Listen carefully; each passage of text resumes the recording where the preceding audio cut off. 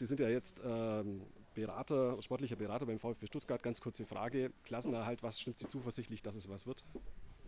Ja, man hat zwei Spiele und äh, die sollte man gewinnen. Und äh, man spielt in Mainz und äh, dann gegen Hoffenheim. Äh, also die Möglichkeit ist da, aber man muss punkten. Ähm, aber in, in dem Abstiegskampf, glaube ich, ist alles möglich. Auch als Chef des Organisationskomitees für die Heim-EM, was, ist da was sind da gerade die Aufgaben für Sie? Wo, wo, wo befinden Sie sich da gerade? Was ist jetzt wichtig?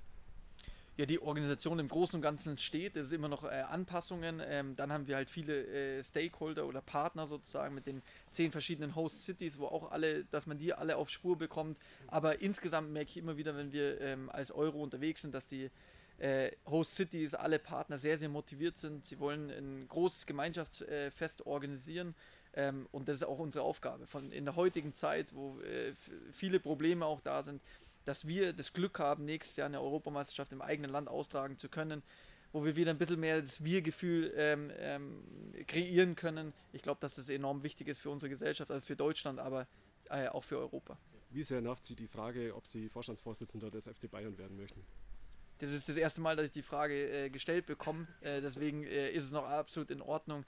Aber äh, wie Sie ja gerade gesagt haben, ich habe eine tolle Aufgabe. Ich bin Turnierdirektor der Euro 2024, die im nächsten Jahr stattfindet ein großes Fest soll es werden bei uns im eigenen Land. Ähm, deswegen äh, kann ich die Frage ganz einfach beantworten, dass ich einen tollen Job habe. Vielen Dank. Sehr gerne. Dankeschön. Gerne, gerne.